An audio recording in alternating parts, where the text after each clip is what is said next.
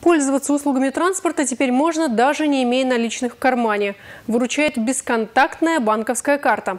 Эта работа проводится в рамках реализации транспортной реформы, которая началась в Чебоксарах 1 декабря. Организаторы – администрации столицы и Чувашское отделение Сбербанк России. С новыми технологиями знакомилась и наша съемочная группа.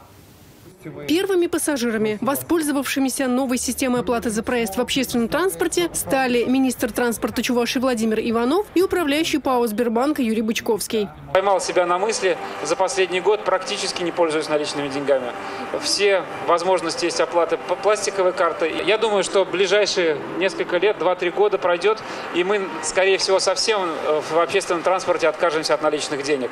Как э, по этому пути идут э, европейские города, в маршрутке, автобусе или троллейбусе в любом городском транспорте пассажирам достаточно приложить к терминалу кондуктора бесконтактную банковскую карту, либо смартфон с подключенным сервисом Apple Pay, Samsung Pay или Google Pay. Быстро, удобно, безопасно.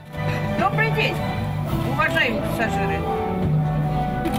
Прошу передавать за поездку. Прошу передавать за проезд. Да? Отлично. Пожалуйста.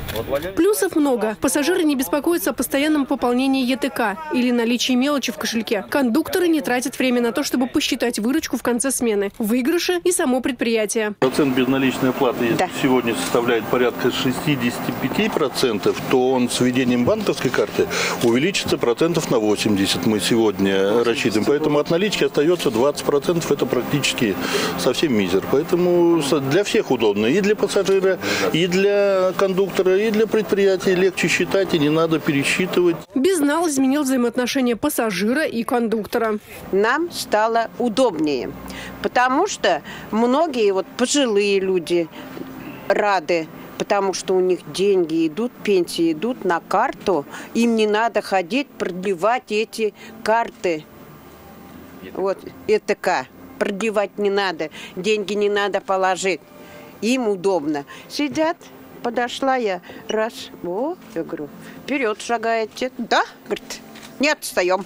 Кстати, если проезд оплачивать по банковской карте, то получается дешевле, чем платить наличными. Транспорт – это скажем, такая сфера, которая еще остается очень много расчетов наличными, и, и с этим нужно что-то делать. Потому что наличные это, это во-первых, дорого, всегда. Это дорого для любых компаний. С наличными нужно э, работать, нужно иметь кондукторов, нужно пересчитывать наличные, сдавать их в банк, и это все затраты. Вот. Когда безналичные расчеты, затрат на это гораздо меньше.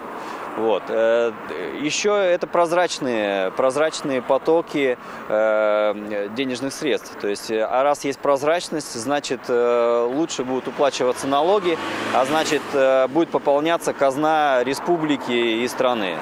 Галина Титарчук, Павел Редков, Республика.